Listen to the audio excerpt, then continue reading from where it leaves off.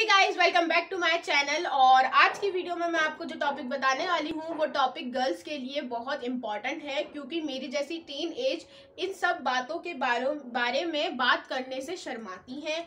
उन्हें ऐसा लगता है कि ये कोई ऐसी बहुत बड़ी बात हम गलत ना बोल दें किसी के सामने या इनफैक्ट अपनी मम्मी से भी इस बात के लिए वो बोलने में शर्माती हैं कि हमें ये हो रहा है, वो हो रहा है। तो हम इस बारे में बात नहीं कर पाते किसी से। जी हेल्थ एंड हाइजीन वुमन के लिए वीडियो बनाने वाली हूँ। सो so, ये मेरी फ़र्स्ट वीडियो होगी वुमन हेल्थ एंड हाइजीन की। मैं ऐसी ही वीडियोस लाती हूँ वुमन के लिए लड़कियों के लिए टीन एज के लिए। हर हर एज के लिए मैं एज ग्रुप के लिए वीडियो लेकर आती हूँ। तो अगर आपको ऐसी वीडियो देखनी है तो जल्दी से जाइए नीचे मेरे चैनल को सब्सक्राइब कर दिए सब्सक्राइब के पास एक छोटू सा ना बेल आइकन होगा छोटू सा। उसे दबा देगा लेकिन उसको दबाने से टिंग आवाज़ नहीं आती है। अगर आप उसके लिए दबाए तो।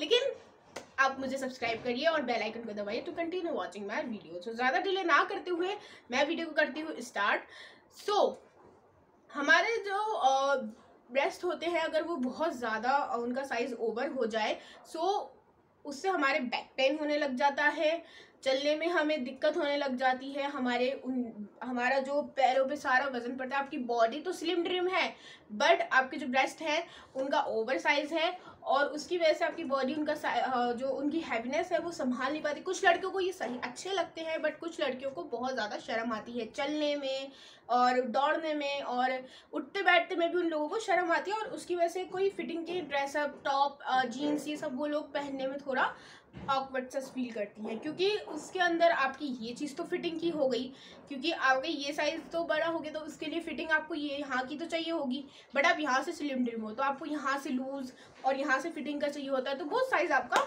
बिगड़ जाता है। तो आपको क्या करना है? सबसे पहले मैं बता दूँ कि आपको क्या क्या चीज़ें नहीं करनी है, जिनकी वजह से आपके ब्रेस्ट का साइज़ ओवर हो रहा है। फ़र्स्ट आप अच्छे से चेक करो। वैसे सोते में कोई नहीं करता है, लेकिन करना होगा आपको अपने लिए। अपनी खूबसूरती के लिए आपको ये करना होगा। इसके जब आप सोते हो रात को तो हमारी पूरी बॉडी बॉडी जो है वो रिलैक्स कर रही होती है। और लेकिन फिर भी हमारी बॉडी पे इफ़ेक्ट पड़ता है। क्या इफ़ेक्ट पड़ता है कि जब आप सीधे लेटते हो तो हमारा बैक बिल्कुल सीधा, सब कुछ सीधा होता है और सीधे लेटने के बाद आपको कोई उसका इफ़ेक्ट नहीं होता। लेकिन अगर आप करमट से, ये नहीं कह रही मैं पूरी रात सीधे ही लेटे रहो, उससे भी आपको दिक्कत हो जाती है। बैक पेन हो जाता है बैक में आपके चिक आ सकती है, कुछ भी हो सकता है तो आप रात भर एक करमट से ना लेटो, जैसे आप लेफ़्ट करमट पे लेट गए, फिर आपको थकान हुई तो आप राइट करमट से लेट गए, ऐसा नहीं है। आपको करमट भी लेनी है और सीधा भी लेटना है, क्योंकि अगर आप करमट लेके लेटोगे, एक साइड से लेटोगे तो आपकी ये चीज़ यहाँ की साइड दबेगी। उसकी वजह से जैसे कहते हैं ना लोग कि खाना मत खाओ, खाना खाते सॉरी खाना मत खाओ, मैं कुछ भी बोल देती हूँ कभी कभार तो खाना खा के उल्टा मत ले तो पेट दबेगा और आपका पेट फूल जाएगा, आप मोटे हो जाओगे। तो इस तरीके से ही हमारे हर चीज़ की बॉडी की साइज़ होती है। हर चीज़ एक ही जैसी होती नहीं है, लेकिन कुछ कुछ चीज़ें एक जैसी होती हैं बॉडी की। तो इसी तरीके से आप अगर एक साइड से दबा के लेटोगे इस तरीके से या इस तरीके से तो वो आपका साइज़ ओवर हो सकता है। तो ये आपको नहीं करना है, आपको पूरी रात सीधे भी लेटना है करमट भी बदलनी है। ये तीनों आपको चीज़ें करनी है, लेकिन बिल्कुल आपको सीधे नहीं लेटना है, ना ही तो आपको एक करमट से लेटना है। सो आप करमट से ना लेटें, आप सीधे लेटें ज़्यादातर। आप कोशिश करें कि रात को आप ज़्यादातर सीधे लेटें। और मैं ये नहीं कह रही कि पूरी रात सीधे लेटना, क्योंकि मैंने बता दी कि इससे आपको नुकसान भी हो सकता है। एंड नेक्स्ट थिंग हम क्या करते हैं? बहुत ज़्यादा टाइट ब्रा पहन लेते हैं, जिसकी वजह से भी हमारे जो ब्रेस्ट है उनका ओवर साइज़ हो जाता है। टाइट ब्रा मीन्स आप अपने साइज़ से थोड़ा बहुत छोटा ले लेते हैं साइज़ और आपको वो फिटिंग हो जाती है बिल्कुल फिट हो जाती। है आपको लूज फॉर एग्ज़ाम्पल मैं आपको बता देती हूँ कि मैंने इसे हुक को बहुत ज़्यादा टाइट कर दिया है।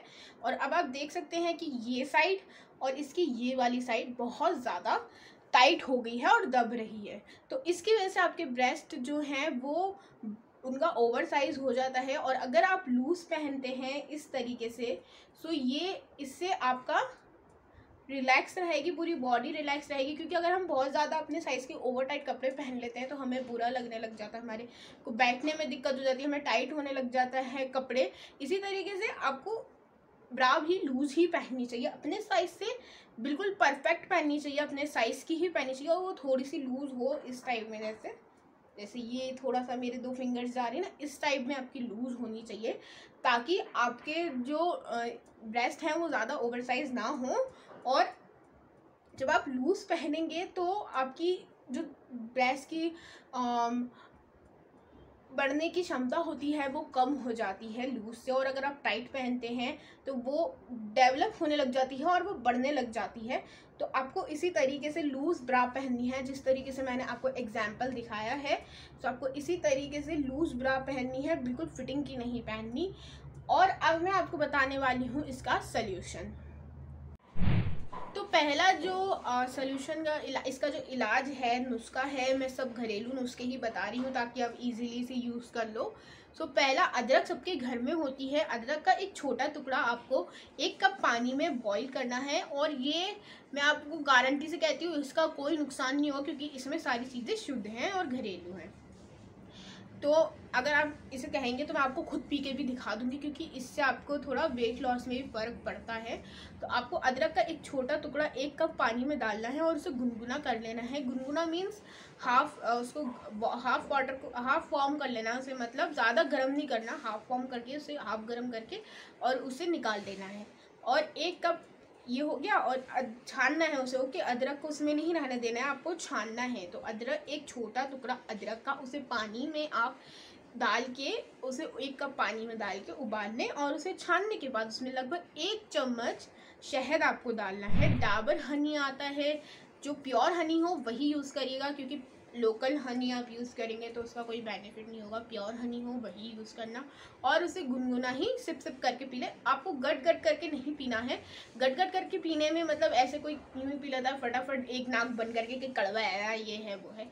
तो उसी तरीके से आपको नहीं पीना है। आपको जिप जिप कर सिप सिप करके पीना है।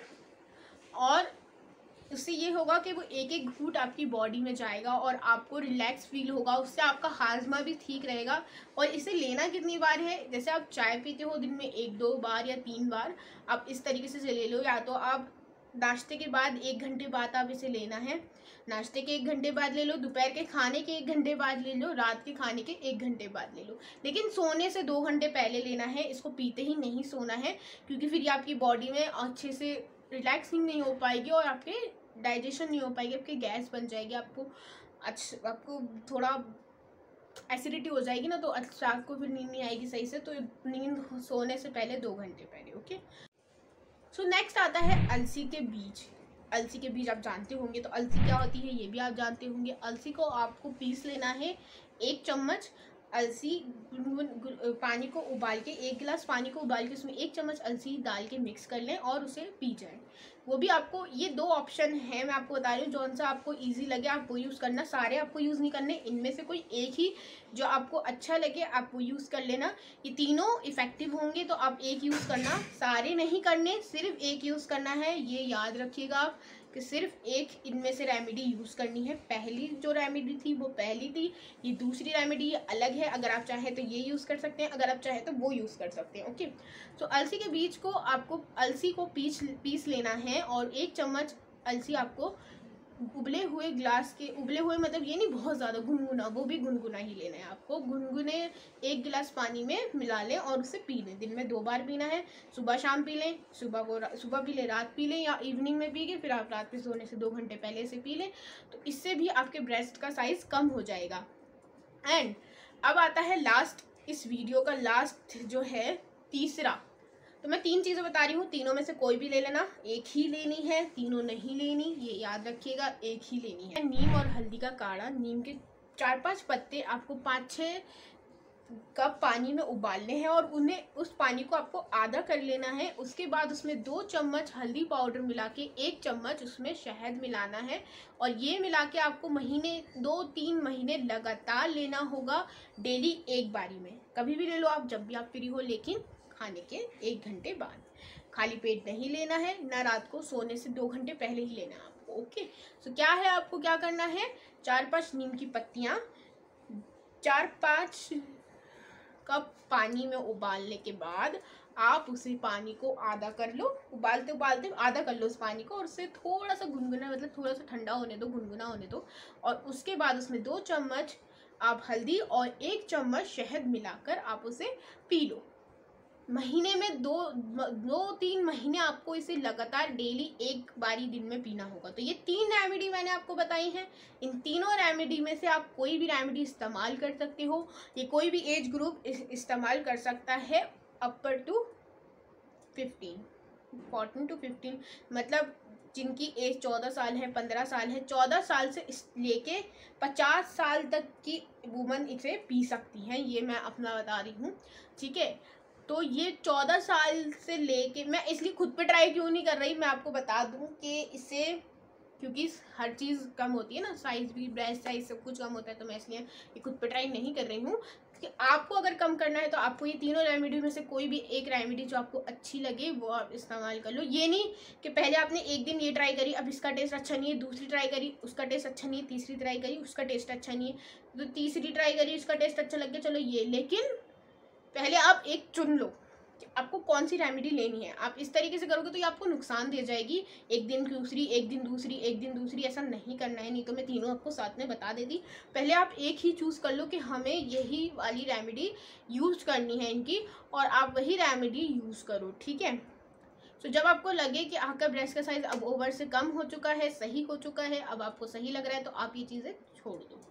So thank you so much for watching my video में ऐसी वुमन हेल्थ एंड हाइजीन की वीडियो लेकर आती रहूँगी मेकअप की वीडियो लेती आऊँगी। एक मिनट मेकअप से मुझे याद आया, आज मैं कुछ भूल रही हूँ ना? सही सोचा आप लोगों ने। मैं रिव्यू करना भूल रही हूँ गाइस तो रिव्यू के लिए मैंने अपने पास ही रख रखी है लैक में peach milk cream so so, इसका रिव्यू मैं आज अपने आ, करने वाली हूँ लाइक में पीच मिल्क सॉफ्ट क्रीम का। सो so, आप देख सकते हो मैंने बिल्कुल मेकअप नहीं कर रखा। कसम से यार मैंने बिल्कुल मेकअप नहीं कर रखा। सिर्फ़ मैंने ये क्रीम लगाई है और आप देख सकते हैं मैं इसे कितना यूज़ कर चुकी हूँ। सब मिनट ये चिकनी हो रही इसलिए नहीं खुल रही। सी गाइस ये कितनी सारी खाली हो चुकी है तो मैं इसे यूज़ कर चुकी हूँ। काफ़ी सारी उसके बाद ही इसका रिव्यू दे रही हूँ। और ये अगर आप मेकअप नहीं करते खाली क्रीम लगा के लिपस्टिक लगा के लाइनर लगा लो आपका मेकअप लुक कंप्लीट तो ये मेकअप इसकी आपको ज़रूरत ही नहीं पड़ेगी, इसके बाद आप सिर्फ़ ये लगा लो और अब जैसे मैंने बताया नेक पे लगाना मत भूलना, हर चीज़ नेक पे लगनी चाहिए। और अभी मेरी एक और वीडियो आई है बेजाना सिर्फ़ वाइट पानी के इलाज के लिए, जो आपको यहाँ दिख रही होगी।